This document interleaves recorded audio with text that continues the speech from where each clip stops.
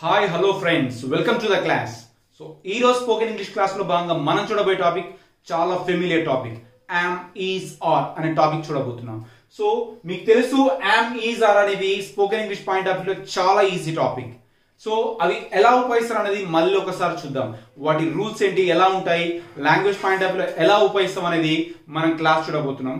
Friends so before going to see the topic my dear friends I usually ask you that to subscribe the channel. So please subscribe the channel and share the video to your friends. So let us see, see the topic. See friends, am, is, are ఎలా వాడాలి am, is, are అనేవి helping verbs సహాయక క్రియలు మరి ఈ సహాయ క్రియలు దేనికి ఉపయోగిస్తామంటే ప్రస్తుతం జరుగుతూ ఉన్న పనుల కోసం మనం వీటిని ఉపయోగించడం జరుగుతుంది మళ్ళీ చెప్తున్నాను ప్రస్తుతం ప్రస్తుతం జరుగుతూ ఉన్న పనుల కోసం వీటిని ఉపయోగించడం జరుగుతుంది సో వీటిలో హెల్పింగ్ వెబ్ వి ఫోర్ అంటే ముఖ్యమైన క్రియ. వి ఫోర్ అంటే ఇంగ్ ఫామ్ అని రాసాను చూడండి.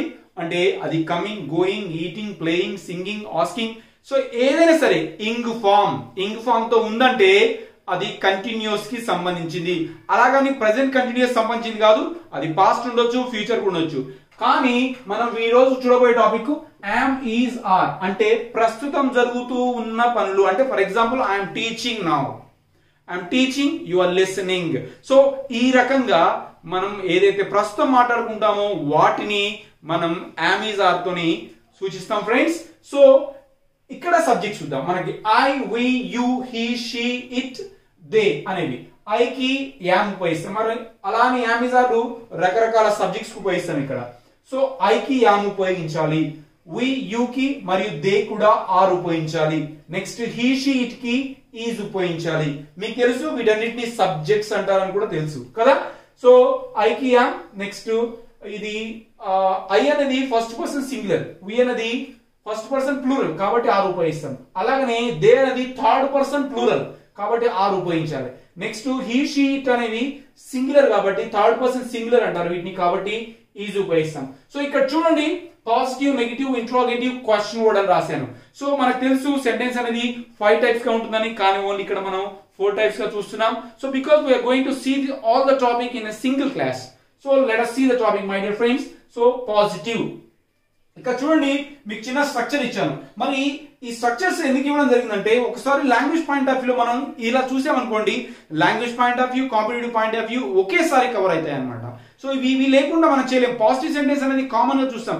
ఎవరికైనా బేసిక్ లా బేసిక్గా క్లాసెస్ చూసేటప్పుడు ఇది కామన్గా I'm coming I'm going I'm watching ఇది కామన్గా అంటారు. బట్ వీటిని నెగిటివ్లో ఇంట్రోగేటివ్లో ఇంట్రో నెగిటివ్ క్వశ్చన్ కూడా ఎలా ఉంటుంది అనేది మనం చూద్దాం. సో ఫోర్ టైప్స్గా చూస్తూ చూడబోతున్నాం ఇప్పుడు క్లాస్ అనేది పాజిటివ్ సెంటెన్స్ చూడండి subject am is are am లేక ఈజ్ లేక ఆర్ వి ఫోర్ మొత్తం కూడా వి ఫోర్ ఉపయోగించారు అందుకని ఇక్కడ పెద్దగా రాయడం జరిగింది వి ఫోర్ అని.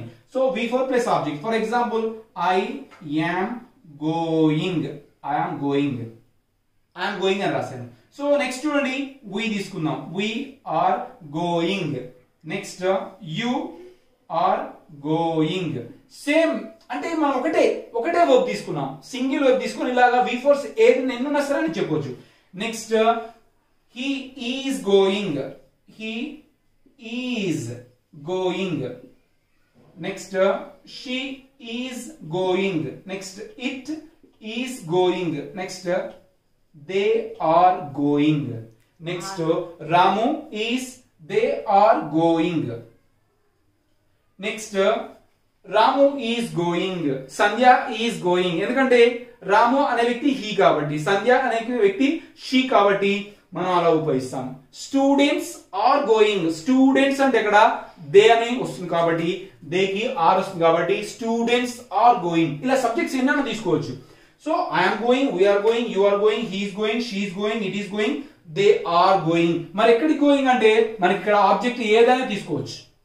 ఓకే టు స్కూల్ అనొచ్చు టు స్కూల్ అనొచ్చు టు బజార్ అనొచ్చు నెక్స్ట్ టు మార్కెట్ అనొచ్చు నెక్స్ట్ టు మూవీ అనొచ్చు ఓకే అండ్ టు షాప్ అనొచ్చు టు హిస్ ఫ్రెండ్ అనొచ్చు టు హర్ ఫ్రెండ్ అనొచ్చు. సో ఇలా మనం ఆబ్జెక్ట్ ఏదైనా కావచ్చు అక్కడ ఆ రకంగా మనం తీసుకోవాలి. ఇవన్నీ common sentences so next negative చూద్దాం. సో నెగిటివ్లో భాగంగా మనకి నాట్ ఒకటి యాడ్ అవుతుంది. ఇక్కడ నాట్ ఉండదు ఇక్కడ నాట్ ఉంటుంది. నెగిటివ్ అంటేనే ఆడ మనకి పాజిటివ్ సెన్స్ ఉండదు. లేదు కాదు పోదు. ఈ రకంగా ఉంటుంది కాబట్టి మనం ఇక్కడ ఇదే సెంటెన్స్ని ట్రాన్స్లేట్ చేద్దాం. I am not going I am not going I am not going next we are not going next you are not going you are not going next he is he is not going అంటే మనకి extra ఏమైంది ఇక్కడ మనం ఇక్కడ are వచ్చేసింది ఇక్కడ use వచ్చేసింది. Next she is not going next it is not going next they are not going so చూడండి అంటే నేను వెళ్ళటం లేదు మేము వెళ్ళటం లేదు నువ్వు వెళ్ళటం లేదు అతను వెళ్ళటం లేదు ఆమె వెళ్ళటం లేదు అది వెళ్ళటం లేదు వారు వెళ్ళటం లేదు. సో ఈ రకంగా నెగిటివ్ సెన్స్ చూస్తాం. ఇక్కడ మనం ఏదైనా ఉపయోగించవచ్చు మరి ఇక్కడ ఆబ్జెక్ట్ ఏంటి? ఇక్కడ వి ఫోర్ వరకు వచ్చేసింది ఇది వి ఫోర్ సో ఇక్కడ మనకి ఇవన్నీ కూడా హెల్పింగ్ వెర్బ్స్ ఇక్కడ మొత్తం కూడా హెల్పింగ్ వచ్చేస్తాయి. ఇక్కడ నెగిటివ్ సెన్స్ ఇక్కడ క్యారీ అవుతుంది. ఇది సబ్జెక్ట్ వచ్చేసింది. మరి ఆబ్జెక్ట్ ఏమి ఉండాలంటే ఆబ్జెక్ట్ ఏదైనా ఉండొచ్చు I'm not going to shop నేను షాప్కి వెళ్ళడం లేదు. I'm not going to school నేను స్కూల్కి వెళ్ళడం లేదు. And he's not going to shop అతను షాప్కి వెళ్ళడం లేదు. He's not going to school అతను స్కూల్కి వెళ్ళడం లేదు. సో ఈ రకంగా మనం కంటిన్యూస్ సెన్స్లో మనం ఎలాగైనా సరే నెగిటివ్ సెన్స్ని చెప్పొచ్చు. నెక్స్ట్ మరి ఇంటరోగేటివ్ ఇంటరోగేటివ్ అంటే ఏంటి? క్వశ్చన్ చేయడం. ఇంటరాగేటివ్ అంటేనే ఎప్పుడైనా సరే హెల్ప్ వేవ్ ముందర వస్తాయి. చూడండి. ఇక్కడ సబ్జెక్ట్ ముందు వచ్చింది ఇక్కడ సబ్జెక్ట్ ముందు వచ్చింది. బట్ ఇక్కడ మాత్రం సబ్జెక్ట్ అనేది సెకండ్ ప్లేస్లో వచ్చింది. అది మీరు గుర్తుంచుకోవాలి.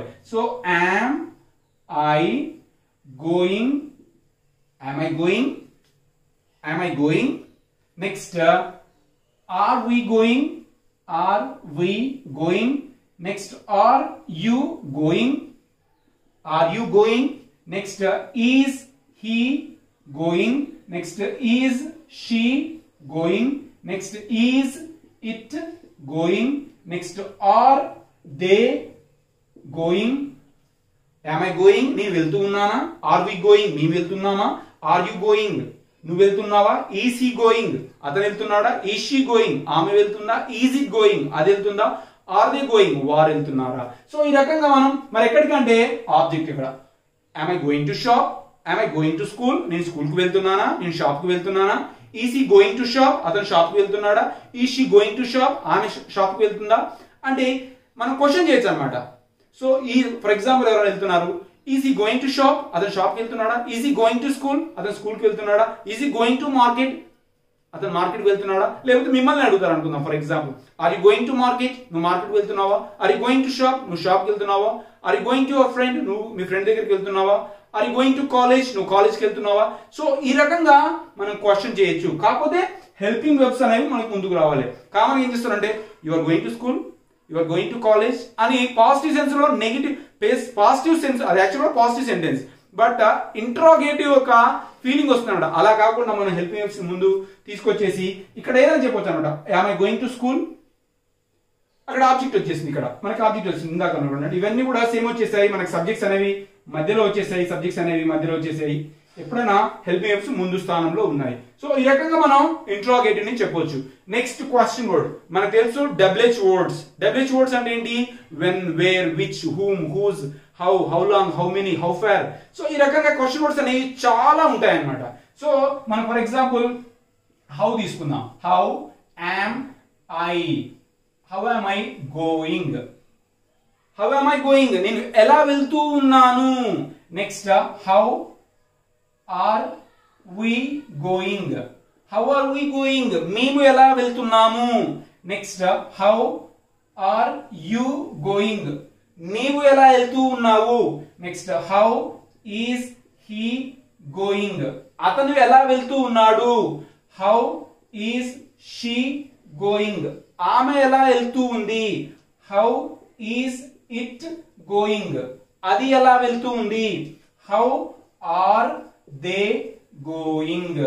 వారు ఎలా వెళ్తూ ఉన్నారు? సో ఇక్కడ how am I going how are we going how are you going how is she going how is how is he going how it how it going how are they going so ఈ రకంగా మనం సెంటెన్స్ని practice చేసి లాంగ్వేజ్ని ఫ్లూయెంట్గా మాట్లాడొచ్చు. మనం చేయవలసిన ఒకటే రకరకాల web forms తీసుకొని దాని మీద ప్రయోగం చేయాలి. మనకు వచ్చినట్టు అనిపిస్తుంది కానీ ఇక్కడ మనకి పాజిటివ్ సెన్స్లో నెగిటివ్ సెన్స్లో ఎక్కువగా మనం ఉపయోగిస్తుంటాం కానీ ఇంట్రాగేటివ్ క్వశ్చన్ వర్డ్లో కొంచెం కన్ఫ్యూజన్ లా.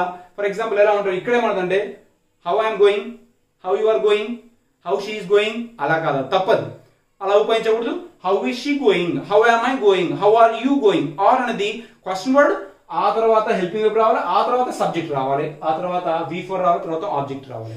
సో ఈ రకంగా మీరు రకరకాల వెబ్ ఫామ్స్ తీసుకొని ప్రాక్టీస్ చేసినట్టయితే లాంగ్వేజ్ అనేది చాలా ఫ్లూయెంట్గా వస్తుంది. At the same time competitive ఎగ్జామ్లో కూడా చాలా బాగా చేయొచ్చు friends and this is what is the class today's class thank you so much have a good day